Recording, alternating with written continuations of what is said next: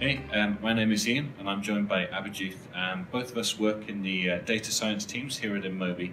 And what we wanted to talk to you today about on this Whiteboard Wednesday session is really about how we actually do a lot of work using machine learning on creative and trying to kind of extract creative insights. Bonjour, je m'appelle Ian, avec Abhijit d'InMobi. Nous travaillons au sein de l'équipe Data Science ici, chez InMobi. Aujourd'hui, pour le Whiteboard Wednesday, nous vous parlons de notre utilisation du machine learning sur les créations pour extraire des informations créatives.